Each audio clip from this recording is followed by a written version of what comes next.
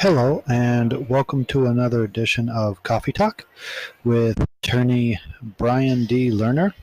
I hope you can see me okay on this video. The light is coming in uh, from the top, and it's it's a little unclear, but but hopefully you can hear me at least.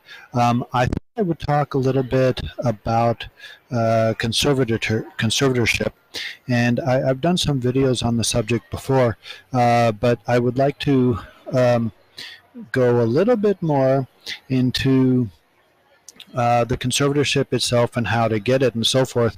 And generally speaking, uh, the conservatee which is the person who needs the conservatorship, uh, generally has some type of incapacity, which makes it so they cannot uh, designate who the conservator should be and cannot sign documents to allow someone to be a conservator.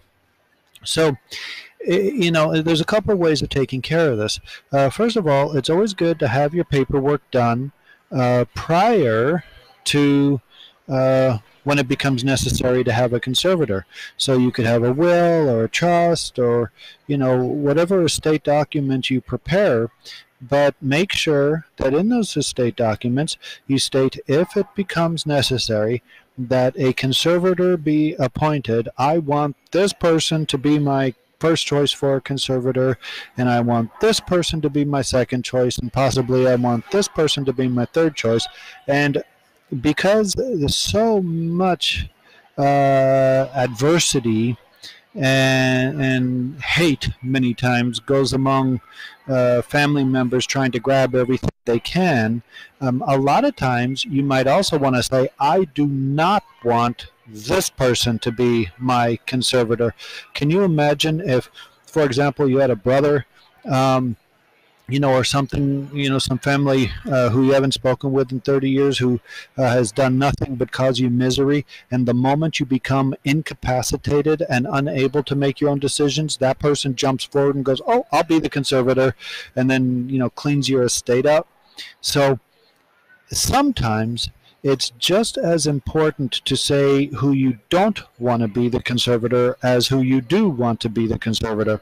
So, given that, uh, you're able to uh, have that done at least initially in your documents, uh, but when it becomes time, to actually have a conservator appointed, uh, normally you're going to need a court order.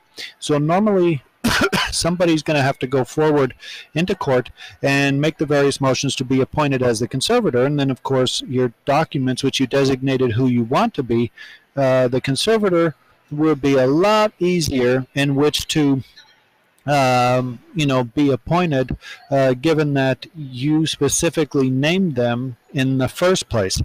Now, when uh, the conservator is appointed, of course, they're going to be able to do all kinds of uh, decision making items which you might not uh, which obviously you can't do yourself but you uh, you know it's not something somebody normally wants to do. Like for example uh, you know put you in hospice or uh, get medical treatments for you that you might not want uh, or you, you can't designate at this point whether you do or don't. So you know the conservator does have a lot of power over what you can and cannot do.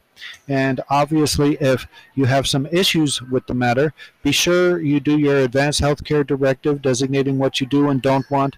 Be sure when you designate the conservator you say what you do and don't want as, as best as you can so that it is uh, more plausible to make it so that your wishes will be followed. So if you like the video, click like, subscribe. You can call my office, get a free consultation anywhere in California, uh, let you know what can be done and the costs and so forth. And there'll be more on the coming videos. Thank you.